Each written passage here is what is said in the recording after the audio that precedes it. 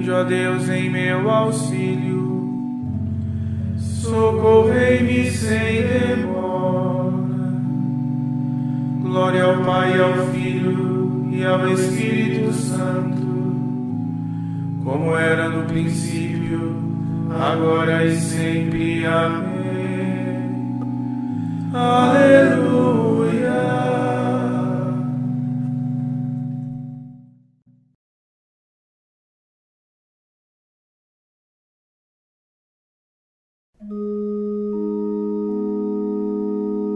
exulte o céu do ar.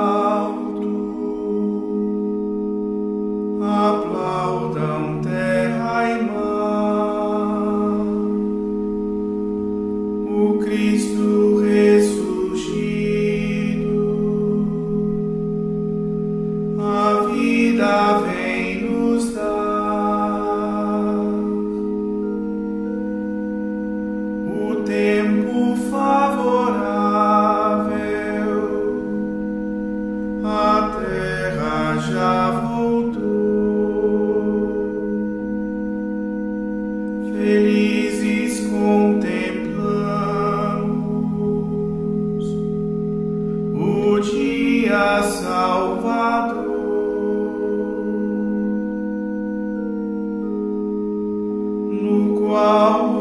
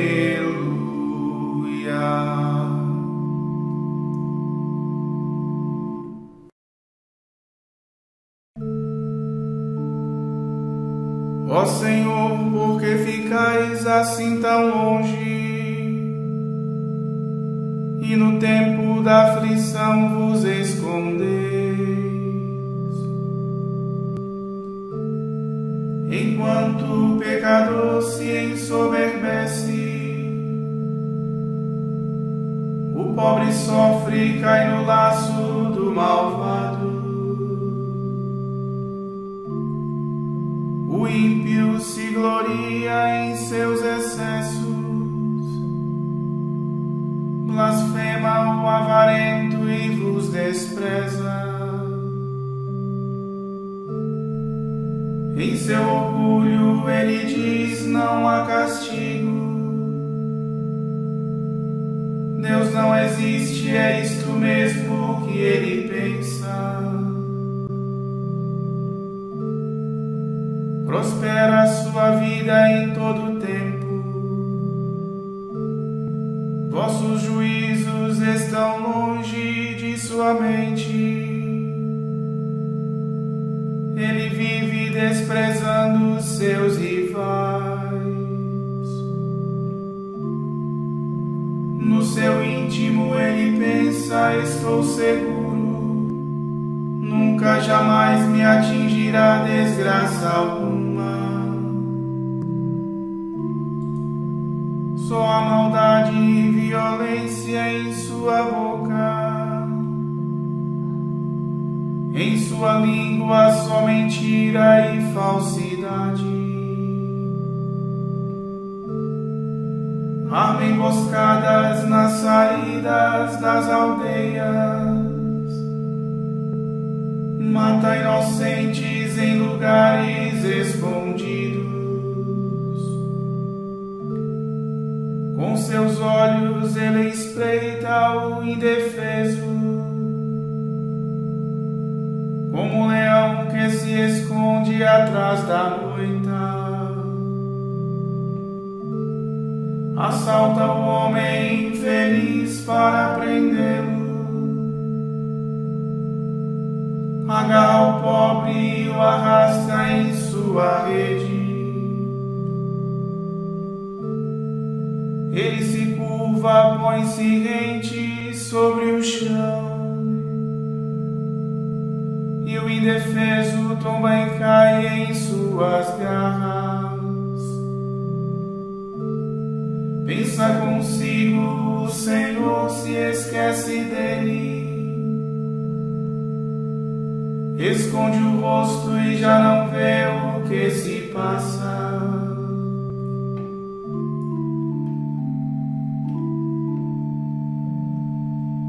Glória ao Pai, ao Filho e ao Espírito Santo, como era no princípio, agora e sempre. Amém.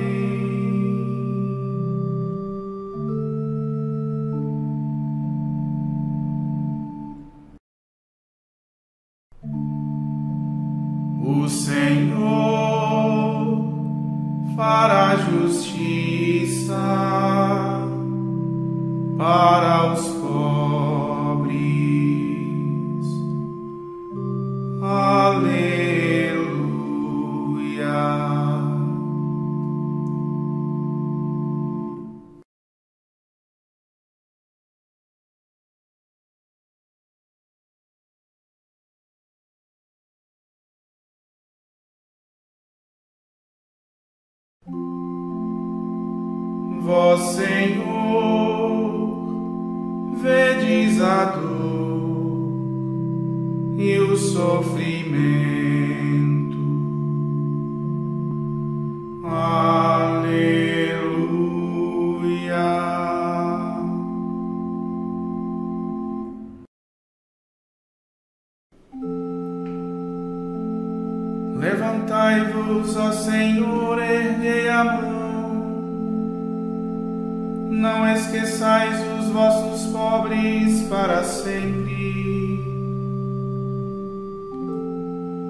Porque o ímpio vos despreza desse modo.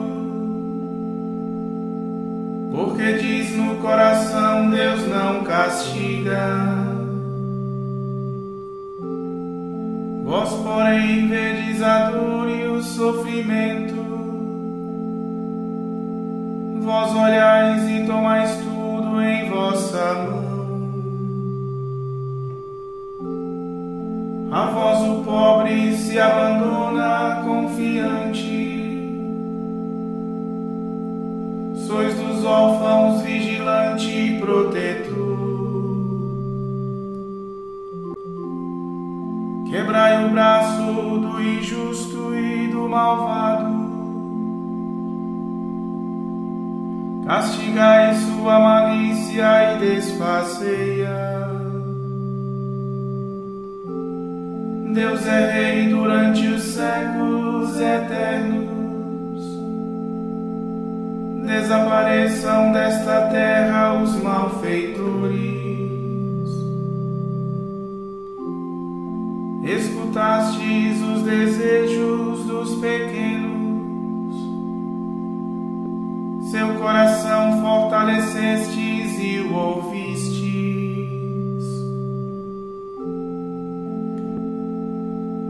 Os órfãos e oprimidos deste mundo. Tenham em vós o defensor de seus direitos. E o homem terreno nunca mais cause terror.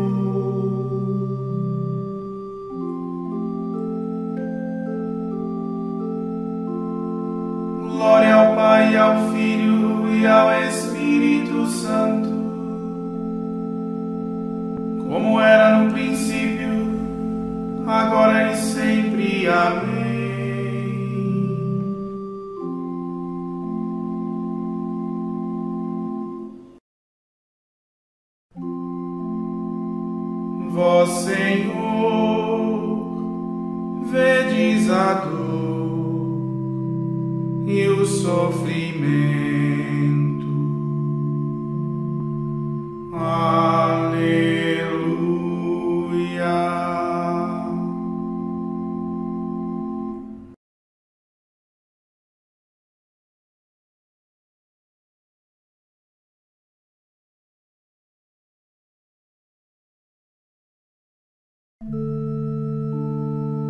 As palavras do Senhor são verdadeiras,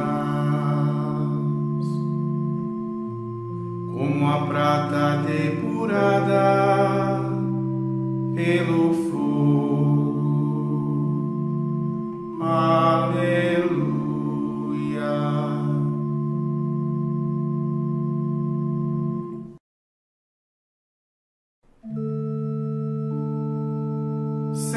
Salvai-nos, já não há um homem bom. Não há mais fidelidade em meio aos homens. Cada um só diz mentiras a seu próximo. Com língua falsa e coração enganador. Senhor, calai todas as bocas mentirosas. E a língua dos que falam com soberba, dos que dizem nossa língua é nossa força, nossos lábios são por nós quem nos domina. Causa da aflição dos pequeninos, do clamor dos infelizes e dos pobres. Agora mesmo me erguerei, diz o Senhor, e darei a salvação aos que a desejam. As palavras do Senhor são verdadeiras, como a prata totalmente depurada, sete vezes depurada pelo fogo. Vós, porém, ó Senhor Deus, nos guardareis para sempre nos livrando desta raça. Em toda parte os malvados andam soltos, porque se exalta entre os homens a baixeza.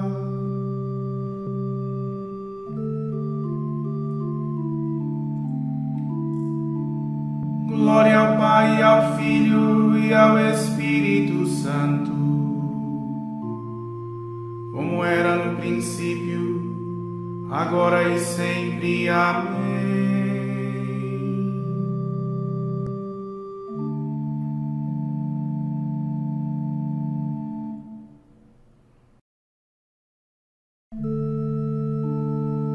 As palavras do Senhor são verdadeiras,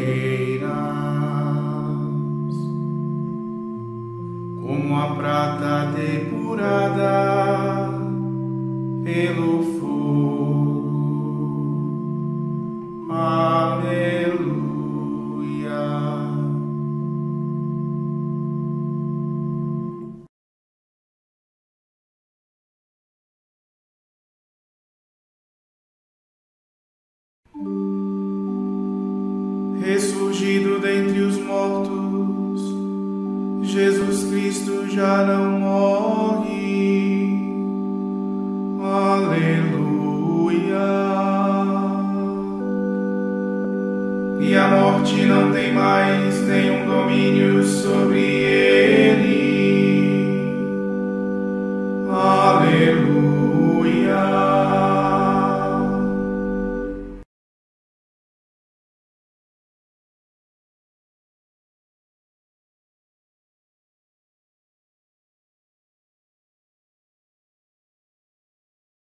Do livro do Apocalipse. Eu, João, vi um anjo descer do céu. Nas mãos tinha a chave do abismo e uma grande corrente. Ele agarrou o dragão, a antiga serpente, que é o diabo, Satanás. Acorrentou-o por mil anos e lançou-o dentro do abismo. Depois trancou e lacrou o abismo para que o dragão não seduzisse mais as nações da terra, até que terminassem os mil anos. Depois dos mil anos, o dragão deve ser solto, mas por pouco tempo. Vi então tronos e os seus ocupantes sentarem-se e receberem o poder de julgar. Vi também as almas daqueles que foram decapitados por causa do testemunho de Jesus e da palavra de Deus e aqueles que não tinham, tinham adorado a besta, nem a imagem dela, nem tinham recebido na fronte ou na mão a marca da besta. Eles voltaram a viver para reinarem com Cristo durante mil anos. Os outros mortos, porém, não voltaram a viver enquanto não terminaram os mil anos. Assim é a primeira ressurreição. Felizes e santos aqueles que participam da primeira ressurreição.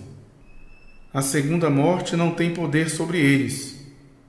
Eles serão sacerdotes de Deus e de Cristo e reinarão com ele durante mil anos.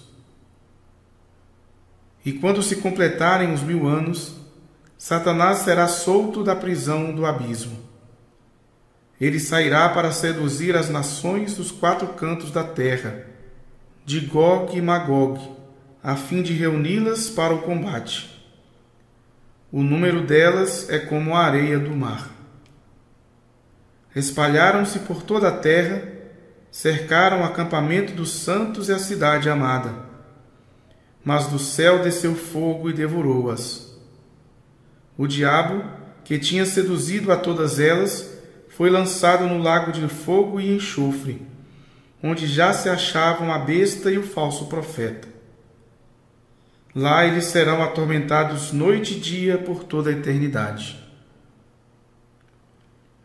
Vi ainda um grande trono branco e aquele que estava sentado nele. O céu e a terra fugiram da sua presença e não se achou mais o lugar deles. Vi também os mortos, os grandes e os pequenos, em pé diante do trono. Foram abertos livros e mais um outro livro ainda, o livro da vida. Então foram julgados os mortos de acordo com sua conduta, conforme está escrito nos livros. O mar devolveu os mortos que se encontravam nele. A morte e a morada dos mortos entregaram de volta os seus mortos. E cada um foi julgado conforme sua conduta. A morte e a morada dos mortos foram então lançados no lago de fogo. Esta é a segunda morte, o lago de fogo.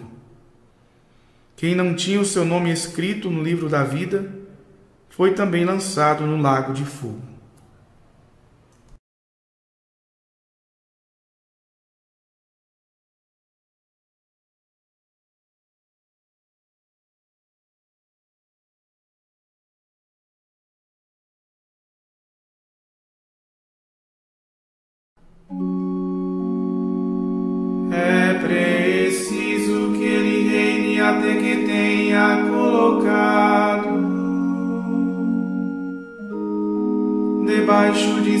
Pés seus inimigos, todos eles.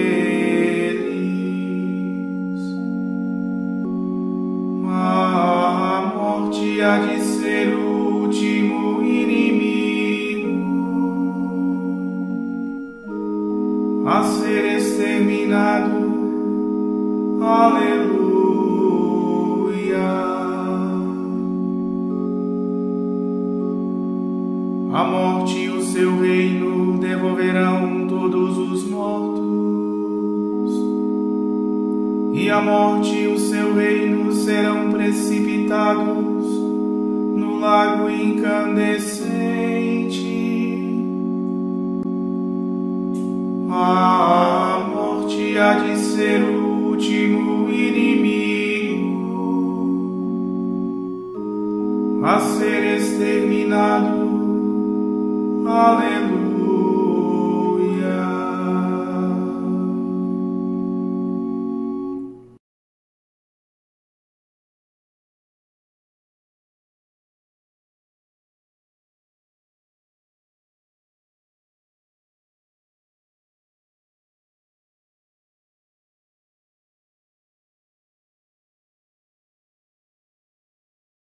Do comentário sobre o Evangelho de São João de São Cirilo de Alexandria, bispo. Querendo mostrar a necessidade de estarmos unidos a Ele pelo amor e a grande vantagem que nos vem desta união, o Senhor afirma que é a videira. Os ramos são os que já se tornaram participantes da sua natureza pela comunicação do Espírito Santo. De fato, é o Espírito de Cristo que nos une a Ele. A adesão a esta videira nasce da boa vontade. A união da videira conosco procede do seu afeto e natureza. Foi de fato pela boa vontade que nos aproximamos de Cristo, mediante a fé. Mas participamos da sua natureza por termos recebido dele a dignidade da adoção filial Pois, segundo São Paulo, quem adere ao Senhor torna-se com ele um só espírito. Do mesmo modo, o autor sagrado, noutro lugar da Escritura, dá ao Senhor o nome de alicerce e fundamento. Sobre ele somos edificados como pedras vivas e espirituais, para nos tornarmos, pelo Espírito Santo, habitação de Deus e formarmos um sacerdócio santo Entretanto, isto só será possível se Cristo for nosso fundamento. A mesma coisa vem expressa na analogia da videira. Cristo afirma ser Ele próprio a videira e, por assim dizer, a mãe e a educadora dos ramos que dela brotam.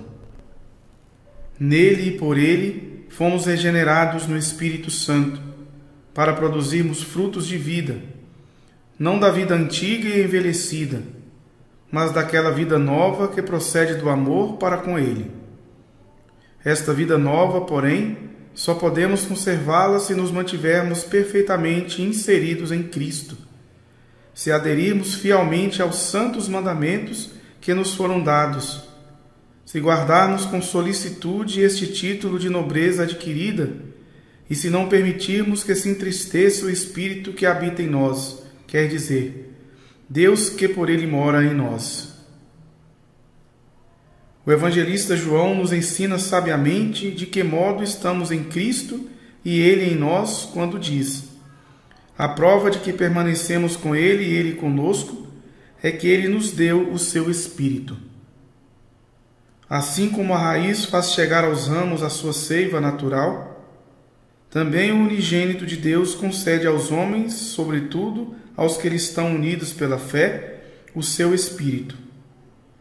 Ele os conduz à santidade perfeita, comunica-lhes a afinidade e parentesco com a sua natureza e a do Pai, alimenta-os na piedade e dá-lhes a sabedoria de toda virtude e bondade.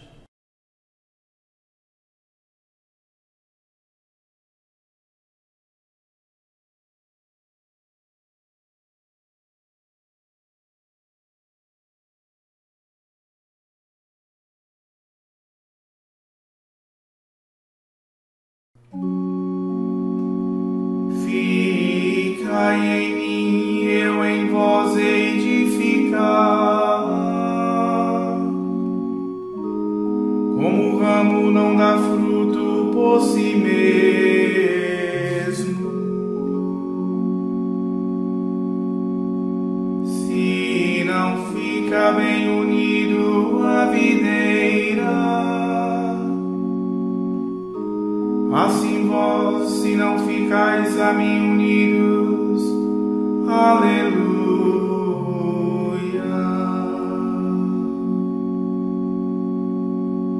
Eu vos designei para que vades e deis frutos, e o vosso fruto permaneça. Como o ramo não dá fruto por si mesmo,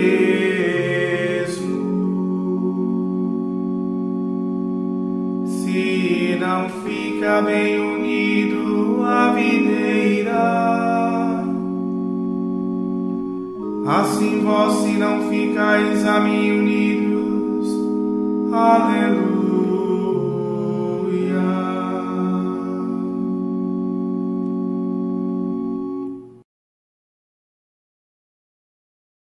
Ó Deus, que pela ressurreição do Cristo nos renovais para a vida eterna, Dai ao vosso povo constância na fé e na esperança, para que jamais duvide das vossas promessas. Por nosso Senhor Jesus Cristo, vosso Filho, na unidade do Espírito Santo. Amém.